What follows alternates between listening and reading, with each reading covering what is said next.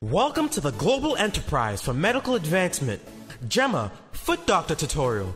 This tutorial is part of our mobile applet catalog.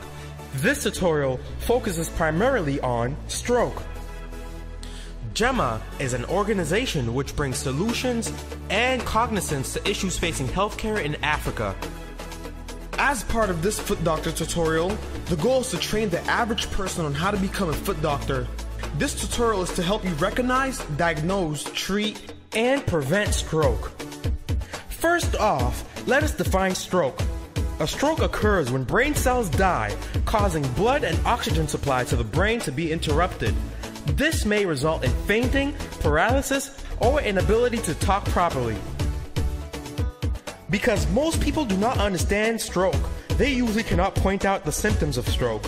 The symptoms include the following trouble with walking, trouble with speaking and understanding, paralysis or numbness of the face, arm, or leg, trouble with seeing in one or both eyes, headache and vomiting. Please see a doctor if you experience any of these symptoms, even if it fluctuates. Please take a look at this diagram to understand the different signs of stroke and where they occur throughout the body. What causes stroke? Well, there are two types of stroke ischemic stroke, which is 85% more common, and hemorrhagic stroke.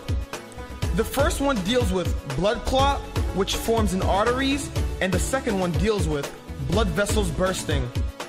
Please analyze this slide to see the details of when, where, and how these strokes occur. Both forms ultimately result in lower blood and oxygen supply to the brain and other organs. Despite the causes of stroke, the following items will increase one's risk of having a stroke. High blood pressure and high cholesterol, smoking and drinking, diabetes, obesity, and physical inactivity, cardiovascular disease, birth control pills and drugs, old age, and family history. Now, let's think like a foot doctor. Here are suggestions of things that you can do at home and things that you can do when you see a specialist. While at home, you can run a symptoms test by using the following questions and taking notes so that you can share them with a professional when you see one. You can also take action by massaging painful or immobile areas and trying physical therapy. Now, when you see a specialist, here is the following things that you should try. Prepare notes and make the suggestions on the following slide. Physical examinations to test for symptoms. Blood tests to test for the potential of blood clots forming. Computerized tomography to test the conditions of the brain. Magnetic resonance to test the conditions of the brain. Carotid ultrasound to test the blood flow in arteries.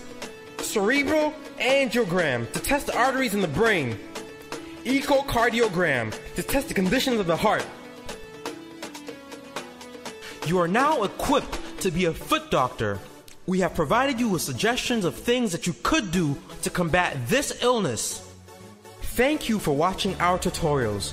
To access more foot doctor tutorials or learn more about GEMA, please visit our website at www.tgema.weebly.com. That is www.tgema.weebly.com. Remember, this is GEMA, where we're fixing healthcare in Africa, one advancement at a time.